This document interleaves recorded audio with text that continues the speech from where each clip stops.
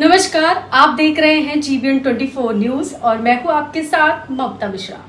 ज़िले के दुबौलिया थाना क्षेत्र के खजांची पुरवा गाँव में 23 अगस्त मोटरसाइकिल के हारम बजाने को लेकर दो पक्षों में मारपीट हुई थी। मारपीट के दौरान घायल 14 वर्षीय सनी के इलाज के दौरान मेडिकल कॉलेज लखनऊ में मौत हो गई। दुबौलिया पुलिस को सूचना दी गई तो पुलिस ने तहरीर लेकर चार लोगों के खिलाफ मुकदमा दर्ज कर इतिश्री कर ली। आरोपियों की कोई गिरफ्तारी भी नहीं की। वहीं बीती रात चौदह वर्षीय सनी की जब लखनऊ मेडिकल कॉलेज अस्पताल में मौत की सूचना गाँव वालों को मालूम हुई तो शोक की लहर पूरे गाँव में फैल गई। और लखनऊ से मृतक की बाड़ी गाँव पहुँचते ही कोहराम मच गया। नाराज़ परिजन सहित ग्रामवासियों ने राष्ट्रीय राजमार्ग राम जानकी छावनी में गोरखपुर जाने वाला मार्ग को जाम कर दिया गया।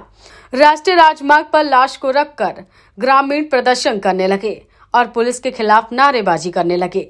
दुबौलिया पुलिस के खिलाफ जमकर प्रदर्शन करना शुरू किया। वहीं ग्रामीणों और परिवार का आरोप है कि पुलिस ने अभी तक इस मामले में कोई गिरफ्तारी नहीं की है।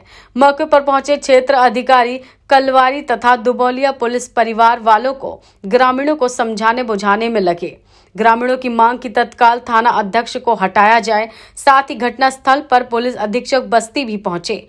किसी तरह पुलिस प्रशासन के उच्च अधिकारी, ग्रामीणों एवं परिजनों को समझाएँ कि हम कार्रवाई करेंगे, तब जाकर जाम हटाया। वहीं इस संबंध में पुलिस अधीक्षक बस्ती आशीष श्रीवास्तव ने बताया कि एक माह पूर्व की घटना है। लखनऊ में इलाज चल रहा था, बीती रात लड़की की मृत्यु हो गई। दुबौलिया थाने में 308 धारा के तहत मुकदमा पंजीकृत किया गया था।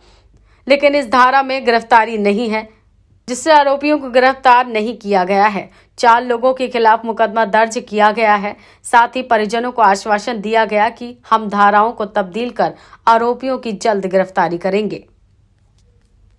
जीवन 24 के लिए बस्ती से पंकज मिश्रा की रिपोर्ट।